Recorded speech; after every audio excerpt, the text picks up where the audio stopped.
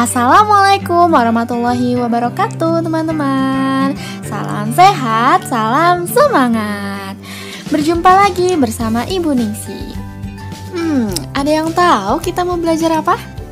Ya, kita mau belajar ilmu pengetahuan alam. Tapi kira-kira pokok bahasan kita hari ini apa ya?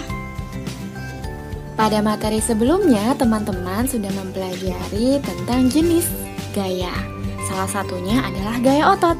Hari ini kita akan mempelajari jenis gaya apa ya? Sebelum itu, untuk menambah keberkahan hari ini, yuk sama-sama angkat kedua tangannya kita berdoa sebelum belajar. Bismillahirrahmanirrahim. Rabbi zidni ilma warzuqni fahman. Amin. Baik teman-teman, jenis gaya yang akan teman-teman pelajari hari ini adalah gaya listrik. Apa itu gaya listrik? Gaya listrik adalah gaya yang ditimbulkan oleh aliran muatan negatif suatu benda. Muatan negatif ini biasa disebut dengan elektron. Gaya listrik dibagi menjadi dua macam, yaitu listrik statis dan listrik dinamis.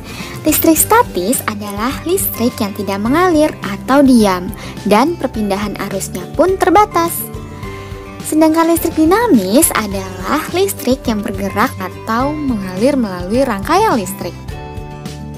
Hmm, kira-kira peristiwa apa ya yang berkaitan dengan listrik statis dan listrik dinamis?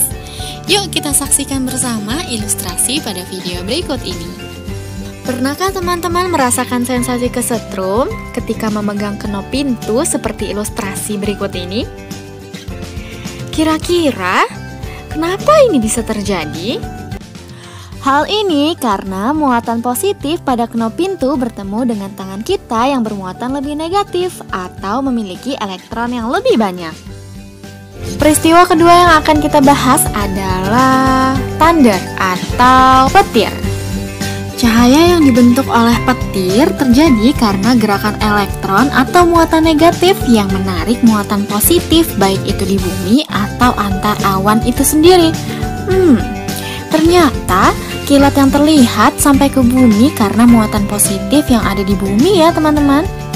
Eits, jangan lupa, pada petir juga terdapat suara gemuruh ya.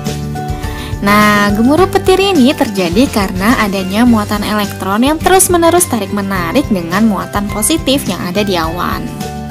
Baiklah teman-teman, yuk sekarang kita coba lihat percobaan tentang listrik statis berikut ini. Alat dan bahan yang digunakan adalah balon, gunting, kertas, dan sisir. Dimulai dengan kertas, kertas ini akan sulap menjadi potongan-potongan yang lebih kecil. Kemudian sisir yang sudah kita siapkan, kita gosok-gosokkan ke rambut atau kita juga bisa gosokkan ke kain ya. Sisir ini akan bermuatan lebih negatif dari sebelumnya karena mendapatkan elektron dari rambut. Setelah kita gosok-gosokkan ke rambut, yuk sekarang kita sama-sama meletakkan sisir ini di atas kertas apa yang terjadi? Wah, ternyata kertasnya akan tertarik oleh sisir yang sudah kita gosokkan ke rambut. Hal ini karena sisir mengandung banyak muatan elektron yang bisa menarik kertas-kertas tersebut. Oke teman-teman, untuk percobaan balon dan rambut akan kita lakukan ketika Zoom meeting ya. Baik teman-teman, jika teman-teman sudah mengetahui peristiwa yang berkaitan dengan listrik statis, yuk sekarang kita lihat peristiwa dari listrik dinamis. Listrik dinamis merupakan listrik yang mengalir melalui rangkaian listrik. Yuk sekarang kita lihat rangkaian listrik berikut ini. Arus listrik dapat mengalir karena adanya bahan konduktor di dalam kabel, sehingga dapat mengalirkan arus listrik. Alur listrik yang mengalir ini disebabkan oleh gaya listrik.